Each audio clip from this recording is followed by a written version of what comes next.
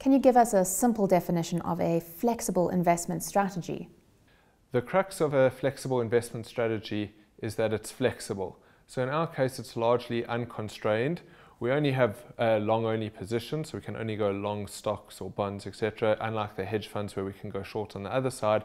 But in terms of the asset classes that we can be invested in, there really is no limit. So it will be your equities, uh, your bonds, whether they're fixed rate or floating rate bonds. And what's also nice about the flexible strategy is unlike a balanced fund where you're forced to only, let's say, have 75% of your portfolio in equities, we can go all the way up to 100% in equities and all the way back down to 0% depending on the opportunity set that we see available.